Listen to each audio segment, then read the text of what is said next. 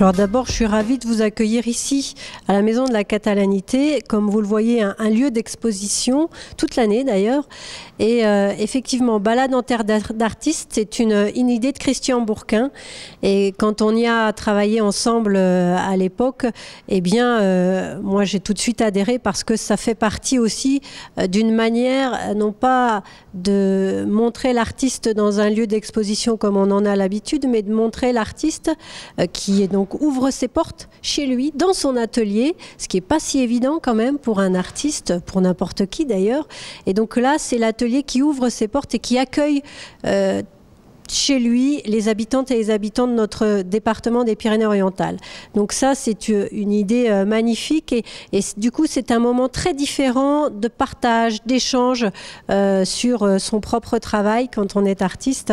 Et euh, cette idée de balade en terre d'artiste, elle est là. Et c'est vraiment l'important. C'est une autre manière de valoriser les artistes et surtout une autre manière de se rencontrer entre euh, celui qui regarde, qui euh, découvre, euh, qui ressent, parce que c'est plein de sensibilité quand on, est, euh, quand on parle d'art, et puis l'artiste qui crée.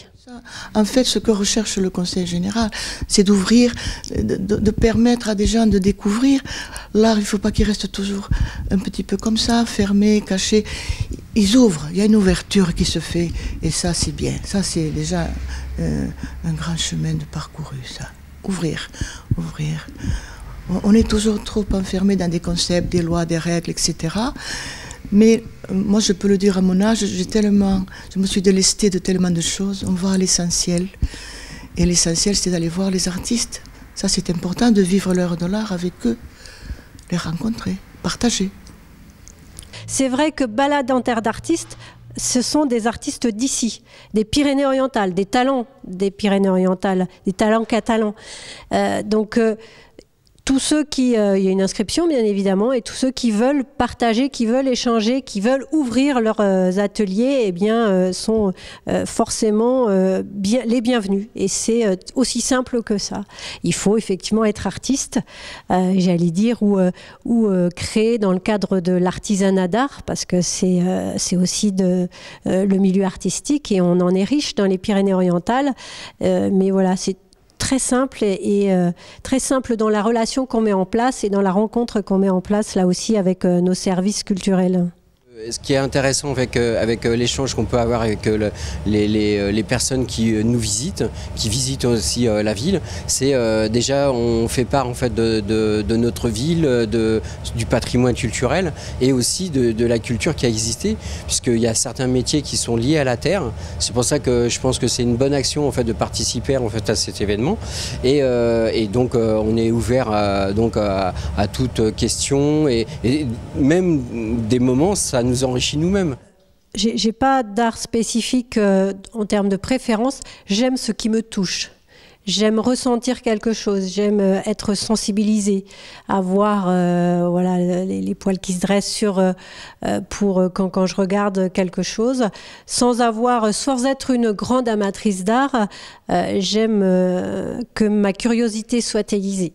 Euh, je suis euh, très ouverte et très curieuse euh, sur l'art en général. Moi, c'est un métier passionnant, un métier euh, dur parce qu'on est euh, quand même confronté à la chaleur. Mais euh, en général, quand on produit une pièce, une création, on l'oublie. Voilà, c'est un, métier donc qui est enrichissant. On s'inspire en fait des éléments extérieurs. Moi, il y a beaucoup de pièces qui, qui on le ressent parce que on est proche de la mer et donc on trouve des éléments comme l'eau qui, qui est assez traduit dans tout ce que je fais. Voilà. Et euh, donc voilà, c'est un métier. Euh, c'est à essayer. On, a aussi euh, invité les gens donc, à essayer et à, comprendre en fait cette matière qu'il qu faut beaucoup de temps quand même parce qu'il faut une dizaine d'années pour, pour y arriver. Et, et après, ben, c'est au gré des expériences, au gré des grands comptes qu'on va développer en fait un sens artistique et voilà. on évolue avec le temps. J'ai fait de la céramique, c'était une, technique, autre chose. Mais ça m'a, tout est utile. Je pense que la céramique m'a permis aussi de comprendre mieux les techniques. Mais lorsque je dessine, c'est là où je suis le mieux. Et le fusain m'apporte beaucoup de liberté. En tout cas, je la prends, la liberté à mon âge. Je peux me permettre de prendre des libertés. Et, et, donc, je crois que lorsqu'on me fait plaisir, c'est quand on me dit on vous reconnaît.